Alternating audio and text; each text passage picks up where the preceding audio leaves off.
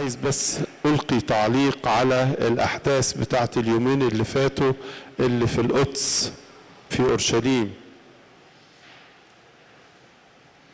اللي تخص دير السلطان. هو اسمه دير الملاك مخيل وطبعا شفتوا صور كده منظرها مش لطيف في الميديا كلها لكن أنا عايز أحكي لكم الحكاية من أولها يعني.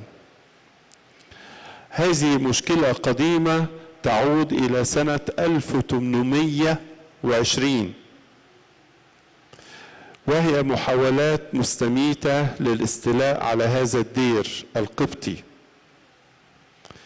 وتم اللجوء للمحاكم وأيام الإمبراطورية العثمانية الدولة العثمانية لكن كل الأحكام حكمت بأحقية الكنيسة القبطية في الملكية والحيازة ومعنى هذه الأحكام موثقة.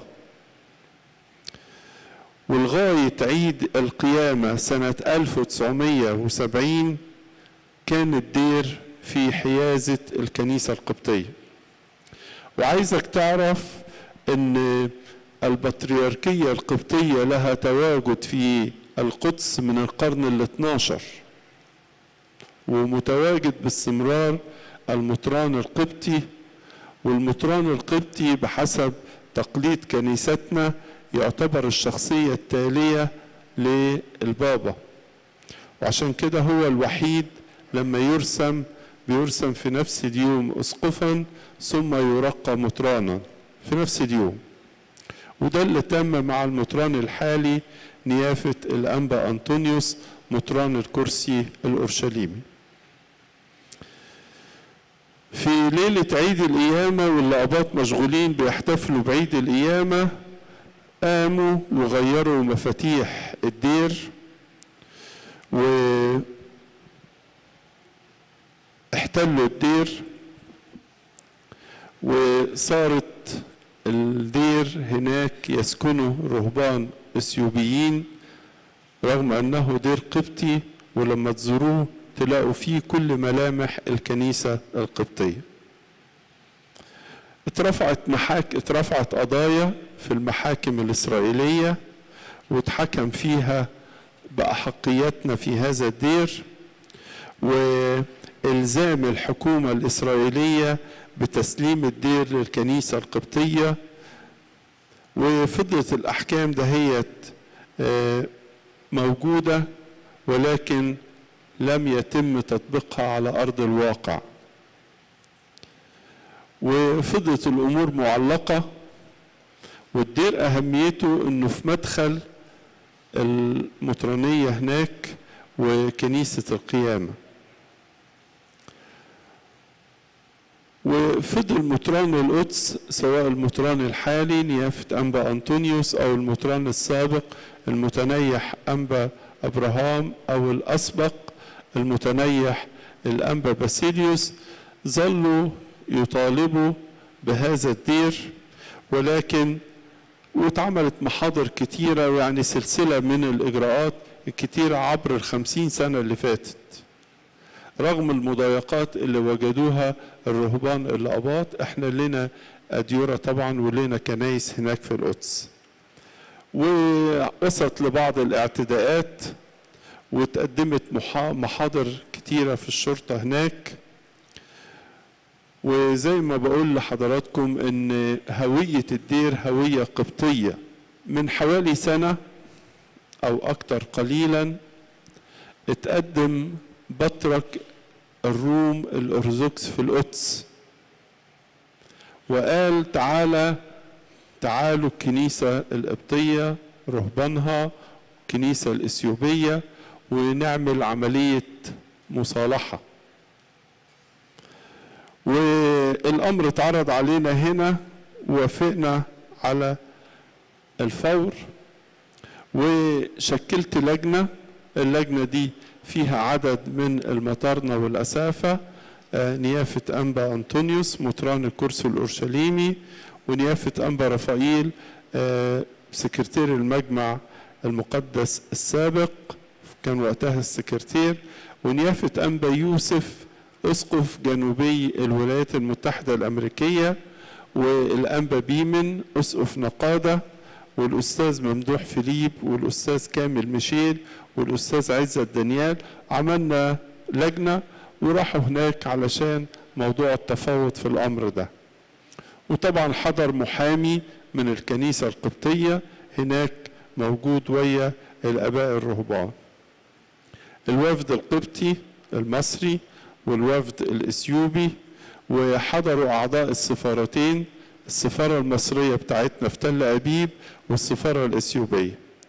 وحضر وياهم ممثل عن وزارة الأديان الإسرائيلية ووزارة الداخلية وكل ده كان في ضيافة آه، البطريرك ساوفيروس بطريرك الروم الأرثوذكس في القدس. وإحنا ظنينا إن بالتجمع الهادئ ده ممكن إن المشاكل تتحل. ولكن الحوار اللي كان في هذه المفاوضات لم يكن حوارا محايدا. كان دايما مايل للجانب الآخر. والحوار ده هو كان بسبب طلب ترميم هذا الدير الترميم. آه، طبعا هي القصة طويلة قوي بس أنا بحاول يعني أمر عليها كده مرور الكرام. وترميم الدير المفروض نقوم بيه إحنا. الكنيسة القبطية. وإحنا كنا على استعداد وفعلا عملنا لجنة مهندسين وأساتذة يروحوا علشان يشوفوا عملية الترميم. وقلنا إن الترميم ده هيتم على حسابنا. وابتدينا آه، نبعت ونطالب إن إحنا ندخل الدير علشان نرممه. ولكن وحتى قلنا ممكن يترمم تحت إشراف اليونسكو كهيئة دولية. لكن الاجتماع انتهى أو الاجتماعات انتهت على لا شيء وقدمنا هذه الطلبات ولم يتم الرد عليها لغاية أكتوبر 2016 شكلنا اللجنة الهندسية وكان فيها نيافة أنبا مكاري الأسقف العام هنا في القاهرة وهو أصلا مهندس. وياه مجموعة من الاستشاريين وراحوا علشان يشوفوا آه، إمكانية الترميم وده بالتنسيق مع وزارة الخارجية المصرية. وأخترنا الحكومة الإسرائيلية على وصول الوفد الهندسي. عايز أقول لكم إن القضية مش قضية الكنيسة دي قضية مصرية لأن الدير هو دير مصري. صح يخص الكنيسة القبطية لكن الكنيسة القبطية هي في المجتمع المصري جزء في المجتمع المصري. وده آه، اللي خلى الخارجية المصرية وكل القيادات فيها آه، تهتم بالأمر جدا والقيادة السياسية برضو في مصر مهتمية بال يعني للنهاية في هذا الموضوع. وصل الوفد حاول يخش دير السلطان رفضوا وكانت الشرطة الإسرائيلية موجودة من بداية وصول الوفد لكن الوفد لم يسمح له إطلاقا بدخول دير السلطان للمعاينة ويشوفوا إجراءات الترميم هتتم إزاي. وزارة الخارجية المصرية السيد الوزير والسفير المصري في إسرائيل عملوا مجموعة من الاجتماعات الدبلوماسية والحكومية علشان كيفية استرجاع هذا الدير للكنيسة المصرية. وتشكلت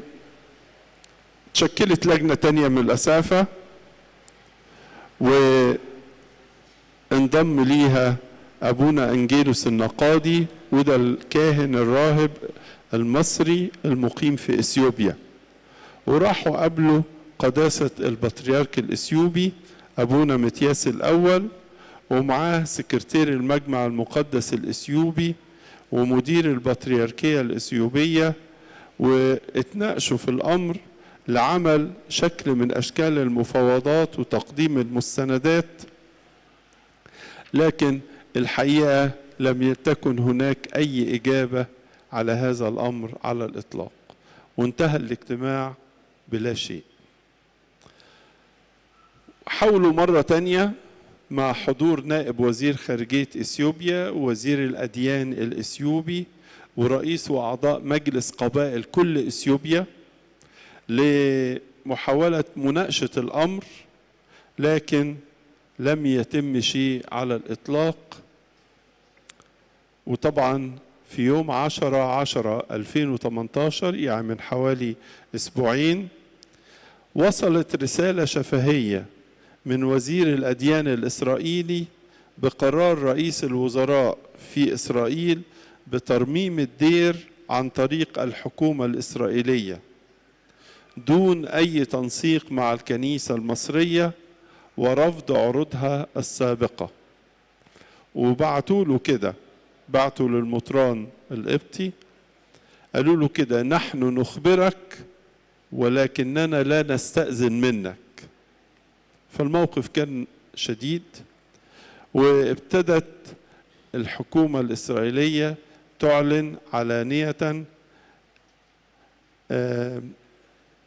بصورة غير محايدة عن موقفها في الموضوع ده.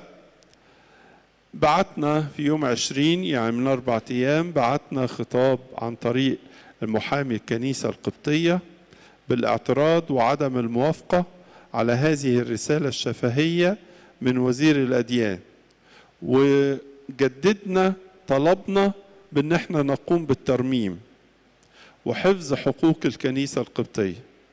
يوم 22 يعني أول امبارح اتصال تليفوني من سفارتنا في تل أبيب اتصلوا بنيافة المطران أنبا أنطونيوس وقالوا له إن إسرائيل تعزم دخولها الكنيسة للترميم بأي صورة من الصور.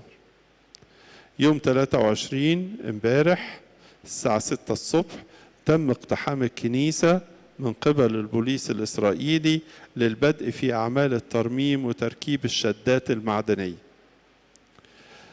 قامت الكنيسة القبطية ممثلة في نيافة المطران والآباء الرهبان وبعض الأقباط بعمل وقفة احتجاجية سلمية قدام المكان هناك. قدام باب كنيسة الملاك بدير السلطان. بيعلنوا إن الأمر مش مقبول طبعا لكن النهارده 24 مش 24 النهارده؟ 24 الساعة 6 الصبح بعنف دخل المهندسين والعمال واستخدام القوة مع المحتجين طبعا شفتوا صور وشفتوا فيديوهات وشفتوا حاجات زي كده. فيها انتهاك لحقوق الإنسان وفيها تعطيل عن ممارسة الشعائر الدينية لأفراد الكنيسة القبطية. طبعا هناك مجموعة من الاجتماعات أنا بنتهز الفرصة دي علشان أحيي جهود وزارة الخارجية المصرية وأعضاء السفارة المصرية هناك في تل أبيب والأجهزة المعنية بالأمر ده. الاتصالات بتاعتنا في الفترة اللي فاتت كانت تقريبا شهرية واتصالات تليفونية باستمرار لمتابعة الموضوع وبيننا وبين نيافة المطران الأنبا أنطونيوس اتصالات مستمرة بقالنا ثلاثة أيام على كل التفاصيل ورسائل يعني آخر رسالة بعتها لي النهاردة الصبحية ورديت عليه طبعا كان في رسائل قبلها باستمرار. وبنتابع الموضوع وبنصلي. طبعا الكنيسة الإثيوبية كنيسة شقيقة وأخت لينا وما نحبش إن يبقى يكون في موضوع يعكر العلاقات معانا. بخصوص هذا الموضوع نفسنا طويل قوي من خمسين سنة بنحاول وواثقين إن الله في الوقت المناسب ممكن يحل المشكلة دي لأن كل المستندات وكل الحقوق واضحة ويانا حكم المحكمة الإسرائيلية العليا بأحقية هذا الدير. لكن أنتوا عارفين طبعا وفاهمين لما الأمور بتاخد منحى سياسي بتبقى خارج نطاق القضاء ونطاق المنطق والعقل. لكن إحنا واثقين في رؤية محايدة لهذا الموضوع وربنا بصلواتكم كده يتمموا بخير. وبقدم الشكر لكل اللي بيتعبوا فيه وبنشوف هيوصل الموضوع لغاية إيه؟ لغاية دلوقتي. إحنا لنا راهب واحد قاعد في الدير مصري والحقيقة راهب يحتمل كثيرا في وجوده هناك. وهناك البطريركية مع نيافة أنبا أنطونيوس والآباء الرهبان بيحاولوا برضو يتعاملوا في الأمور كده بحكمة وبهدوء. لعل الله يمد يده ويحل الأمر بصورة طيبة وأنا أتمنى وأناشد كل الجهات سواء وزارة الأديان الإسرائيلية سواء الكنيسة الأثيوبية سواء وزارة الخارجية المصرية سواء سفارتنا هناك وهي طبعا بتتابع الأمر بشدة. آه، أناشد كل الأطراف دهيت إن الأمر يتحل بصورة عقلانية وصورة هادئة ولا تكون هناك أي نوع من المتاعب أو الأضرار لأي طرف. بنصلي من أجل أن يصنع الله هذا الأمر.